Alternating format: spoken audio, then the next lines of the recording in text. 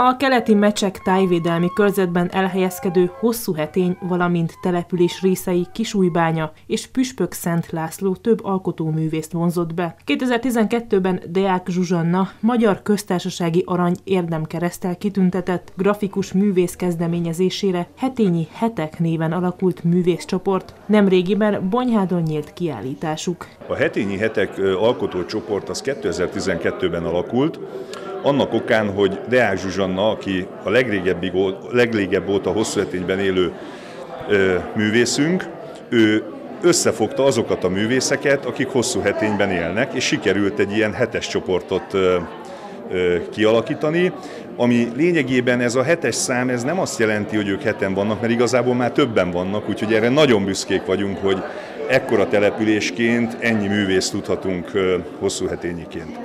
Maga a csoport az első kiállítását, ahogy említettem, 2012-ben hozta létre.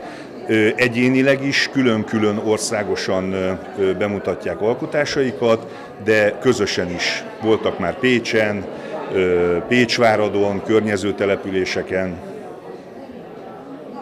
úgyhogy igazából Bonyhádra is egy meghívás okán kerültek. Nyolc alkotóművel látható a művelődési központban. Észrevettem, hogy ez a vidék, a keleti mecsek és a szép rendezett falu hosszú hetény vonzza a művészeket, és láttam, hogy egyre többen jönnek.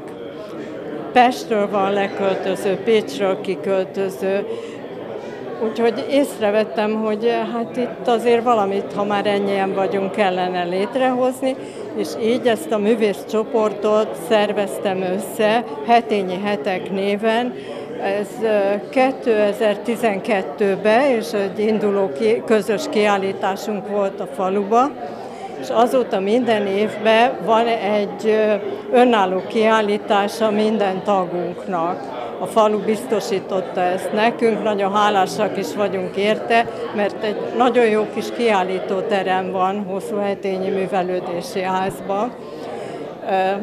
Hasonló, kicsit talán nagyobb, mint itt, Úgyhogy nagyon jó lehetőség. Ezek új, újabb munkák, 20, 20, 20-as években, talán egy régebbi van az az Esőerdő címszó alatt van, ezek pedig újabbak. Hát kidolgoztam magamnak egy speciális technikát, speciális festékkel és speciális papírra úgyhogy ezért ilyen nagyon tüzes, élénk színek jönnek ki, és hát szeretem, szeretem a munkámat, és művelni is szeretem, úgyhogy készülök. Semmi, semmi nyomtatás nincs benne, ez papírra készül, és, és festékkel egy akvarel típusú festékkel, tehát vízes bázisú, a színek nagyon élénkek ebben a festékfajtában. Hát megszoktam, ez az életem, hogy, hogy ezeket létrehozom. És nagyon örülök, örülök a saját munkámnak. Többek között szobrász, grafikus, festő, keramikus és fotóalkotások találhatók a tárlaton. Mindenkinek a munkáit szeretem, tisztelem, és ez bőven elég ahhoz, hogy meg is maradjunk egymásnak. Amióta, amióta geometrikus abstrakcióban gondolkodom, azóta mindig. És mindig abban gondolkoztam, azt leszámítva, hogy a, a természeti formákból indultam, de akkor is a geometrikushoz ragaszkodtam.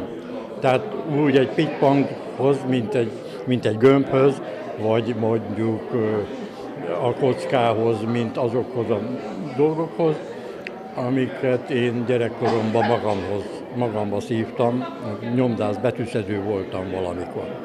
És a betűszedés az, az olyan függőleges, vízszintes dolgokból állt össze, és ez adta a geometriát, adta azt, hogy minden függőleges és vízszintes, és derékszögű. Szóval ez volt a jellemző leginkább ahhoz, amit én gondoltam, vagy, vagy meg tudtam jeleníteni, gondolatban meg tudtam jeleníteni. A műveket június 23-áig nézhetik meg az érdeklődők hétfőtől péntekig a Bonyhádi Vörös Marti Mihály Művelődési Központban.